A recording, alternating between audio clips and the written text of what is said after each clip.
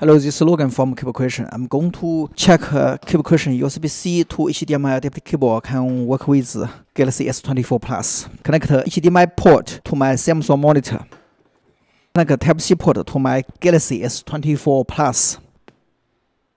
Here we can get connected to external display POPs information on my Galaxy S24 Plus. I will show you the phone's information. Galaxy S24 Plus. This is just the DeX mode. Swipe down the top for my Galaxy S24 Plus. And uh, here we can get a DeX icon. I click it.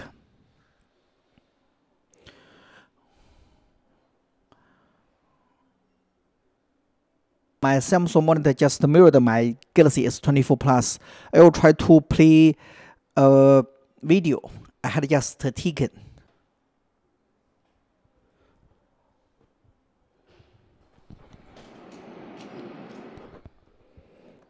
Swipe down the top of my Galaxy S24 Plus, click this DeX icon, this DeX icon.